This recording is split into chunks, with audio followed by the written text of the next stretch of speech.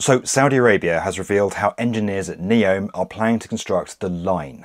40 skyscraper cores will be rising from the 2.4 kilometre long foundations of Phase 1 and they'll stand 500 metres high. That's like one World Trade Center being built 40 times over up the length of Manhattan Island. Right now, there are only 11 other completed buildings on the planet rising to 500 metres. The cores will then be linked together by 2 million tonnes of structural steel trusses, clad in 2.1 million square metres of mirrored glass.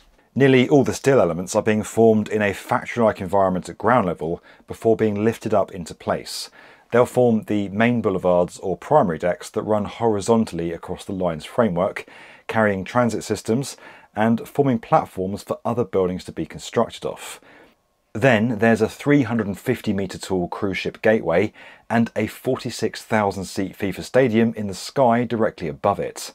11,000 tonnes of structural elements, including much of the stadium structure, are being assembled on the ground in four pieces, then lifted 500 metres up to the top of the line.